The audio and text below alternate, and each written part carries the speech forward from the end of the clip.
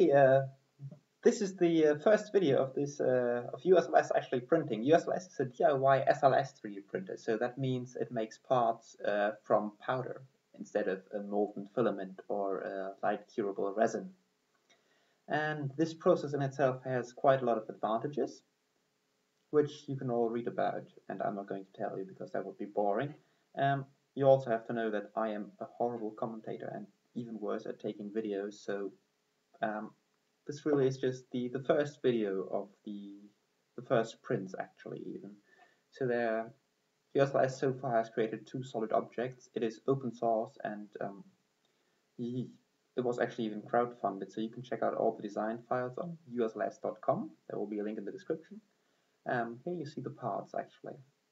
This was the second print. Didn't turn out too bad. I think for for a second print it's, it's marvelous. That one was actually quite strong, so this so was solid. This was the first print, which was a little brittle.